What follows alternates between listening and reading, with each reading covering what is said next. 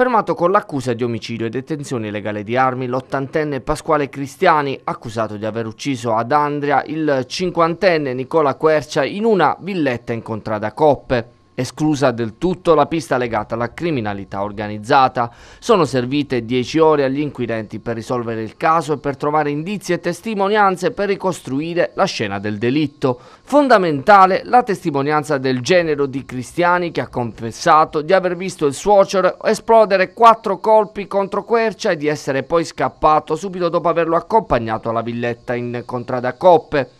Il genero avrebbe poi, su suggerimento del legale, chiamato un'ora dopo il 118 per far soccorrere la vittima. È stata un'indagine che abbiamo portato sul tappeto in maniera assolutamente classica, eh, tramite acquisizioni documentali, sommare informazioni di persone informate sui fatti e appunto il genero è stato l'unico testimone oculare dell'efferato delitto. Inizialmente era, stato, si è presentato reticente ma poi ha capito che l'unica strada era quella di dire effettivamente la verità.